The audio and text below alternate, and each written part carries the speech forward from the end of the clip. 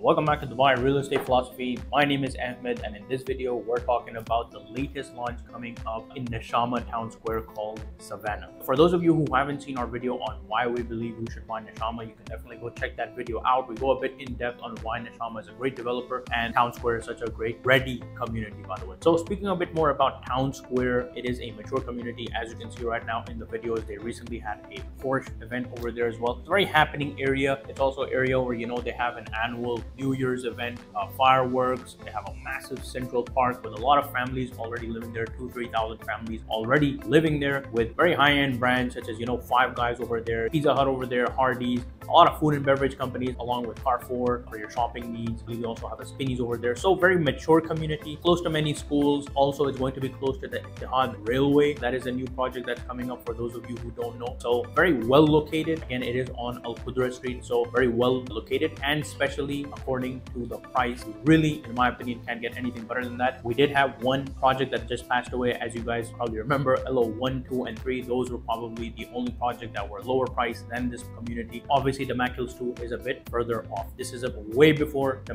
Hills 2 with excellent price. I remember when this community was selling for 650,000 back in the day. It was definitely an excellent community at that time. Now it has definitely appreciated. So let's talk a bit more about Savannah. So over here, as you can see, Savannah Town Square, it is a beautiful design. Now, Nshama Town Square has a very specific design ethos that they're very well known for. This is very similar to how their other building designs are all over Town Square. So if you've seen Town Square, I'm sure as you can see in the video as well the central park and the buildings around it they're very similarly designed uh, this is the master plan of nshama town square you can see it is a massive community and the main park is ready there's already a lot of people living over there and the surrounding buildings most of them are ready as well. Of course we have a lot of townhouses that are ready. For example Maha was just launched recently and they have Reem over there and a lot of other townhouse as well as apartment communities. And you can see where Savannah is highlighted. So it's fairly close to the park. You have just a road that's dividing you between the park. And of course every building does have its own amenities as well. So you're going to have swimming pools parks all these kind of things along with the town square facilities as well. So over here you can see the town square key facts. We have a 50,000 square meter park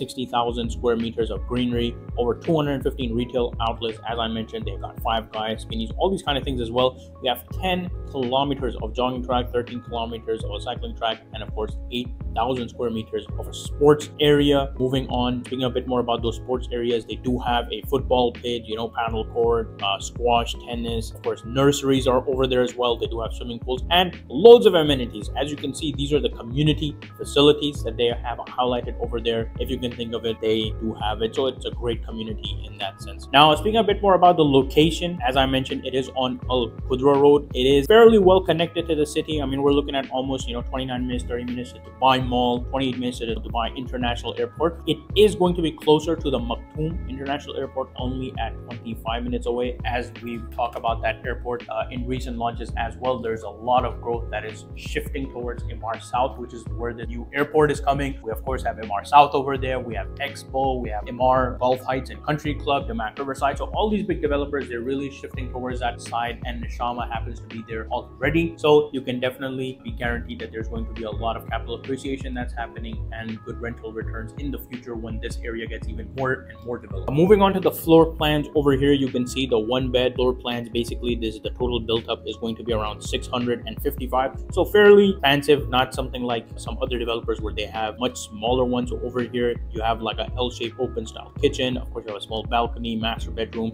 Also have a powder room uh, that comes along with it as well. And of course, there are many different styles as well. We can talk uh, in more detail on WhatsApp. Of course, this is a two bedroom unit type A. So this is going to be the largest size that they're going to have is a 1011 again very expensive over here you can see once you enter you know you have an l-shaped kitchen living room of course the master bedroom you know one and two both coming in with walk-in closet now this is a feature that's very specific to nshama not every developer has that so that's something that's very cool and premium that comes in all the nshama town square communities. And lastly speaking a bit more about the most important thing the prices. So one beds will be starting from around 850000 all the way up to 950000 two beds will be starting from around 1.3 all the way up to 1.4. And of course, they also do have three beds, which will be starting from around 1.7 all the way up to 2.2, depending on the sizes and the view. Of course, corner units are higher, you know, pool facing are higher, and the higher floor you go as the price increases. So this was just a quick video about Savannah by Nshama in